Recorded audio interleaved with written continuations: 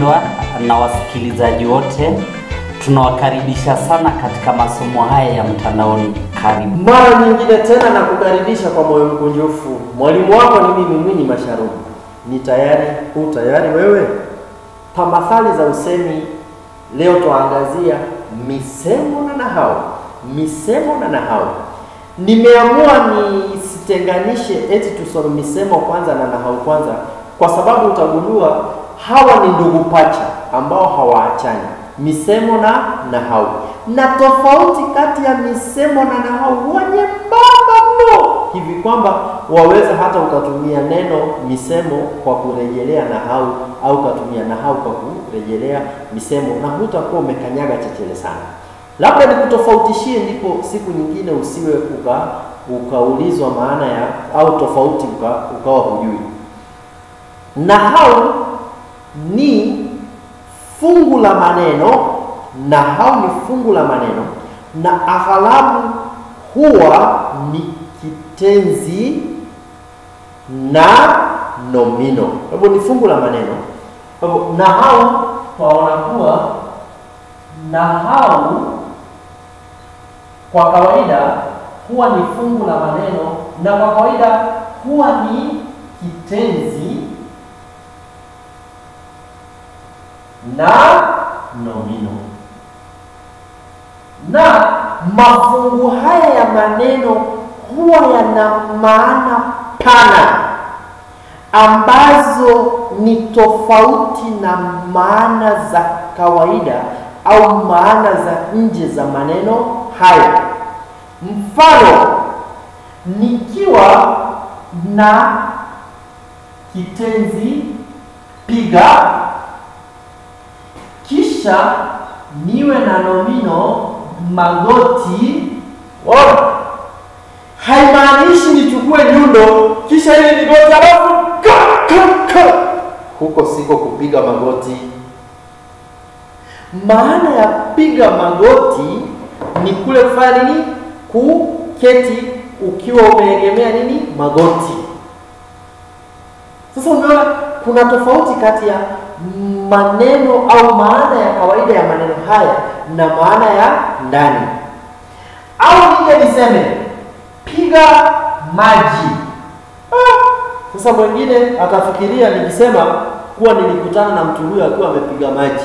Sasa anafikiria kuwa maji ndiyo haya eh? Halafu naye alikuwa na rungu au nyundo, halafu anapiga maji. Wewe maji, utanitambua? Hapana, piga maji haimaanishi kupiga maji haya. Kuna maana ya ndani. Kupiga maji inamaanisha kuwa mlevi, kulewa. Umefahamu hapo? Umenikumbusha katika mojawapo ya vitabu ambavyo nimeviandika uhakikishe umetafuta kitabu hiki cha hadithi chaitwa Sikupendi eh? Nenda kwenye duka la vitabu, agiza kitabu kimeandikwa na Mwinyi Masharubu chaitwa Sikupendi. Sasa ndani ya kitabu hicho kuna kijihadithi kimoja ambacho kila nikikumbuka huwa na, na nacheka sana. Sasa yupo bwana mmoja ambaye alikuwa yuaenda kumtembelea rafikie. Sasa alipokuwa akienda kumtembelea rafikie, alikuwa amepewa maagizo, akaambiwa ukifika mahali fulani ukiona kitu fulani upinde, alafu usanzuke upite upande wa kushoto hivyo. Lakini akafika mahali ambapo palikuwa na mgawanyiko wa njia, njia panda. Sasa akashindwa. Sasa rafiki yangu aliniambia nifuate njia hii, Ndio akakumbuka maagizo, ukifika palipo na njia panda, shika njia ya upande wa kushoto shika njia ya upande wa kushoto na itakufikisha kwangu nyumbani. Sasa wajua yule bwana alifanya nini? Alipofika hapo penye njia panda, akakumbuka shika njia, akainama alafu akashika njia kwa mikono yake, akitarajia kuwa hiyo njia itafikisha wapi? Kwa rafikie. Sasa kukwambia, alikesha hapo, akashinda hapo mchana kutwa siku kucha, njia haikumfikisha. Sasa kama unamwambia we mrongo sana wewe, uliniambia nishike njia, nimeshika njia, nimebaki hapa, watu wananipita hapo, wananishanga. Hakujua maana ya kushika njia, maana ya kushika njia haimaanishi kwamba ushike njia kwa mikono yako. Ah, kushika njia ni kuchukua njia fulani au upande fulani kisha utembee ama u, u, ufululize mwendo eh? Haimaanishi ushike njia. Kwa hiyo ndio tukasema kuwa nahau huwa aghalabu ni kitenzi na nomino na huwa zina maana ya ndani. Halafu sasa misemo nayo huwa ni maneno ya kimapokezano ambayo huwa yanaposemwa huwa yana maana ya ndani. Aghalabu huwa ni, ni, ni marefu kidogo, huwa ni sentensi au kijisentensi. Sasa huo ndio utaitwa msemo. Kwa mfano ukisikia nimesema eh, I say wacha nini kisebusebu na kijoyo kipapo. Eh, hebu nikuandikie kisebusebu na kijoyo kipapo. Kisebu sebu na kijoyo kipapo. Kisebusebu na kijoyo kipapo. Sasa huu ni msemo wa kimapokezana kutoka jamii ah, kizazi kimoja hadi kizazi kingine. Kina babu zetu wakawaatia mababu, halafu babu wakuu wakawaachia mababu, kisha kina babu zetu wakawaatia kina baba zetu, kina baba zetu watatuatia sisi, sisi wanetu, wanetu watawaachia wanao, wanao wajukuu, vitukuu, vilembo, vilembekweza, vining'ina, vining'ina, hivi hivyo. Ni, ni maneno ya kimapokezano. Sasa ninaposema kisebusebu na kijoyo kipapo, maana yake ni kwamba usijifanye kutotaka ilhali ndani kwa ndani watamani. Kwa mfano, umetembea halafu ulipofika ukapata kuwa ndio walikuwa wamepakua wa chakula kimeandikwa pale mezani, halafu ukaambiwa ah, bo, ah, bo mdogo mdogo, karibu tule. Sasa ikawa mwanzo kile chakula ambacho kimeandaliwa ni kile ukipendacho zaidi hmm?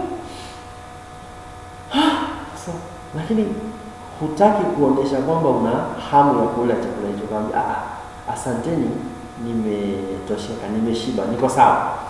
Sasa watakwambia ah, wacha kizebusebu na kijoki, kwa maana kwamba wacha kujifanya kuwa hutaki, ila hali ndani kwa ndani wafanye? Watamani. Kwa hivyo hiyo ndio tofauti kidogo iliyopo kati ya misemo na nahau. La muhimu ni kwamba ina maana ya ndani ambayo ni pana zaidi kuliko maana ya maneno ya kawaida. Usishike njia kwa mkono, au sio? Hebu sasa tuone mifano ya hii misemo na nahau. Kwa mfano nikisema kula mwata, kula mwata haimaanishi ule ule uh, nini vile vidudu ambavyo huitwa mwata, lakini ina maana kwamba kula mwata ni kuteseka au kutaabika. Wapo wadudu wengine ambao baadhi ya jamii huamini kuwa iwapo ulikuwa watembea kisha ukamkanyaga mdudu huyo kwa mguu, eti utapotea njia, utasahau ulipokuwa ukielekea. Sasa nikisema nilipokuwa nikija kwako nilikanyaga chechele, haimaanishi kwamba haswa nilikutana na mdudu nikamkanyaga, la hasha. Nisemapo kanyaga chechele, ina maana kwamba ya kupotea nini njia. Au kwa mfano niseme ah, leo mwalimu Mwinyi amegonga ndipo. Maana yake ni gani? Kugonga ndipo, kwa mfano hapa nina nyundo, kisha nikiwa na msumari ninagongomelea nikigonga kabisa kwenye kichwa cha msumari, msumari ukaingia ndani, huko ndiko kugonga ndipo. Lakini haimaanishi kwamba nisemapo amegonga ndipo kwamba amechukua nyundo akagongomelea msumari, la hasha. Ina maana amelenga shabaha barabara, yaani amefanya itatikanavyo kabisa. Mshafahamu? Au niseme kula mwande. Kula mwande ni kufanya nini? Ni kukosa kupata ulichokitarajia. Nikisema hawa hawapikiki katika chungu kimoja, ule ni msemo, hawapikiki katika chungu kimoja. Kwa maana kwamba wao ni mahasidi, wao ni maadui, wao ni mahasimu, ni maadui wakubwa. Au nikasema hivi ya kwamba huyu bwana apenda kujitia purukushani. Maana ya jitia purukushani ni kujisahaulisha au kupuuzilia mbali au ku, ku, kutotilia nini maanani. Au niseme hivi, we usiwe mtu wa kutilia mirija. Nini maana ya tia mrija? Mrija, mrija kwa mfano, iwapo hapa nina chupa yangu, labda ni chupa ya sharubati, sharubati au chupa ya soda kwa mfano, upo kipo kijimfereji ambacho huwa twakitumilia, tunakiingiza mle ndani, kisha unakitumilia kifereji hiki kuchovya kilichomo ndani ya chupa. Sasa hiki kifereji hiki ndicho huwa chaitwa nini? Mrija, ndicho huwa chaitwa mrija. Sasa nikiwa na nahau tia mrija, tia mrija ina maana ya kutegemea mtu kwa kila hali au katika kila jambo. Haimaanishi kuingiza mrija kwenye chupa ya mtu mwingine, la hasha. Maana ya nahau tia mrija ni kutegemea mwingine katika kila nini jambo. Niwe na nahau hii niseme amefua dafu. Siojua dafu, dafu ni nazi ambayo haijakomaa. Sasa nikisema amefua dafu, simaanishi amechukua yale madafu akaanza kuyafua, la hasha.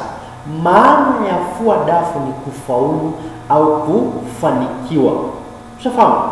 Au niseme, waona, nikiwa nimekunja hiki kiganja cha mkono eh, hili huitwa konde eh? Kuna watu ambao wana tabia mbaya ya kupigana nini makonde eh? Sio? Sasa nikisema siojua moyo huwa hapa, niseme amepiga moyo konde, amepiga moyo konde, haimaanishi eti alipiga moyo wake ngumi. Hapana, maana ya piga moyo konde ni kujishajiisha, kujitia hamu ha? Nitaweza, nitafaulu, nitafanikiwa. Huko ndiko kupiga moyo konde. Ushaona kule kujishajisha, kujitia ushujaa hmm? Au niseme tia kitanzi.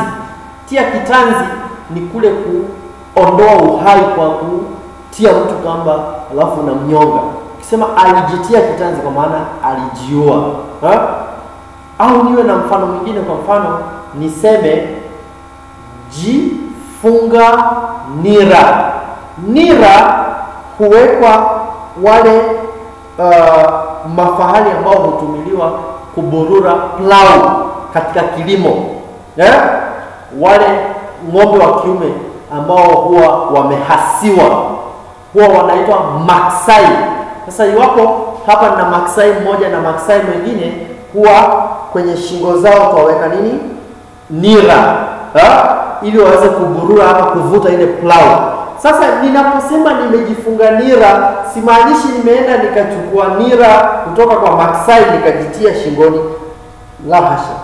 Kujifunga nira ina maana kwamba nimejibidiisha, nimejituma, nimewajibika, nimejukumika. Waelewa mambo haya? Au kwa mfano, na uhakika umewahi kumwona labda shangazi wako au halati yako mama, wakati anapofanya kazi, hasa pale nini pale nilio uh, jikoni, huwa yachukua leso halafu anajifunga kiunoni, shona sasa huwa tunasema amejifunga kibobwe ha? au amejifunga masombo. Sasa nikisema nimejifunga masombo, inamaanisha kwamba niko tayari kufanya kazi, nimekuwa na bidii au juhud au jitihada. Kwa ni vyema tuzidi kujifundisha misemo na nahau kwa wingi. Misemo na nahau ni mingi na misemo hii na nahau tuitumie katika mawasiliano yetu ya kila siku, tuyatumie katika mazungumzo na haswa tuyatumie katika uandishi wa insha. Nimefika tamati. Naomba usubscribe kwenye chaneli hii uzidi kupata video nyingi nyingine ili uzidi kufaidika. Nimekuwa mwalimu wako Mwinyi Masharubu. Kwa heri.